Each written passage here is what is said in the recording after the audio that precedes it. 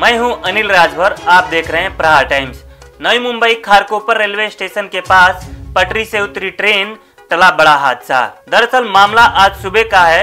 Kharkopar railway station के पास जैसे ही train पहुँच रही थी, वैसे ही ट्रेन के तीन डिब्बे पटरी से उतर गए। यह ट्रेन बेलापुर से खारकोपर स्टेशन जा रही थी। तभी 8:45 के आसपास ट्रेन पटरी से उतर गई। गनीमत रही कि इस हादसे में कोई घायल नहीं हुआ। मध्य रेलवे के सीपीआरओ शिवाजी सुतार ने बताया, इस हादसे के बाद तीन रिलीफ ट्रेनें कुरला, पनवेल और कल्याण से घटनास्थल पर भेज गई। हर्बल लाइन की ट्रेनें अपने निर्धारित समय के अनुसार चल रही है।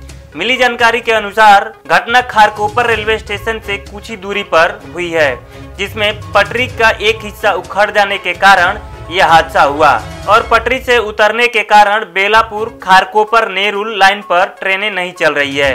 सुतार ने कहा, बेलापुर से खारकोपर रेलवे स्टेशन में प्रवेश करते समय लोकल ट्रेन के तीन डिब्बे पटरी से नीचे उतर गई। इसमें कोई हाथाहाथ या घायल नहीं हुआ है। राहत ट्रेनें घटनास्थल पहुँच रही है। वाहनों के यातायात को बहाल करने का काम चल रहा है।